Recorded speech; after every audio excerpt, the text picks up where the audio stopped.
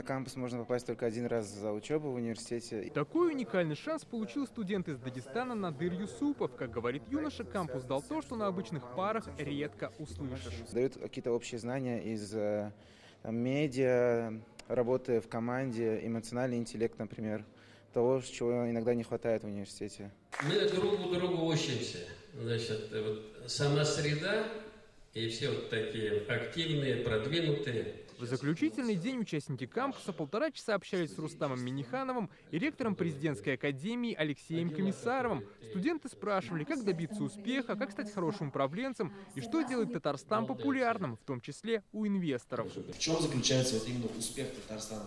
Как там часто говорят, личный бренд Татарстана, почему сюда приезжают, здесь работают, учатся? Это системная, скрупулезная работа э, всех органов власти нашей республики. Чтобы у инвестора, зарубежный ли он, или э, российский, или внутренний, у него должно быть доверие.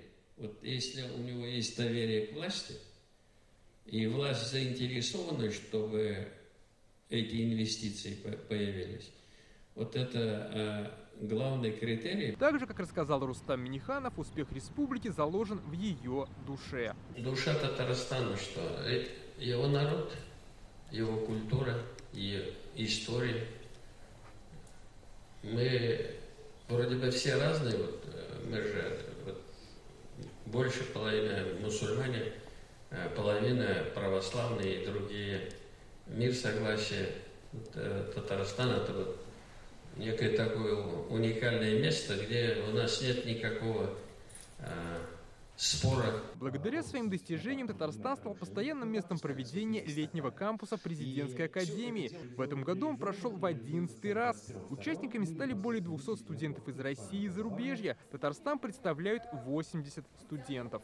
Кампус — это место, где происходят чудеса. Это, конечно, в первую очередь новые знакомства, обмен опытом, а также продвижение самого себя. Главное, чтобы были хорошие, талантливые, способные люди. Вот такие мероприятия, как летний кампус, позволяют таких людей найти. Алексей Комиссаров посоветовал молодежи больше мечтать и не бояться браться за трудные задачи. Рустам Миниханов сказал, пока молоды, нужно поработать в самых разных направлениях, и в жизни помогут усердие и трудолюбие.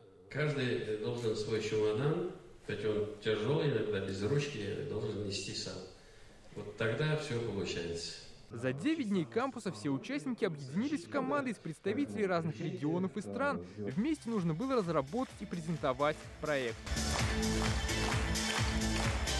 В итоге победителем стала идея, как можно одновременно улучшить проект Пушкинской карты, помочь малому бизнесу и импортозамещению. Мы предлагали внедрить э, туда сумму денег для того, чтобы покупать национальные блюда в тех или иных э, в заведениях общественного питания и тем самым продвигать как раз-таки э, национальную кухню, способствуя импортозамещению. Главный, на самом деле, результат – это то, что все ребята сплотились, получили много новых знаний, и те, кто впервые оказался в Татарстане, влюбились в Татарстан, те, кто оказались в нашей стране, э, ну, может быть, не впервые, но в очередной раз влюбились во всю нашу большую страну.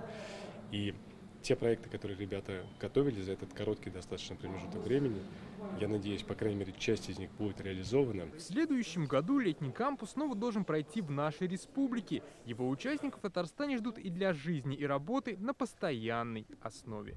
Дмитрий Арин, Вадим Иларионов, ТНВ, Иннополис.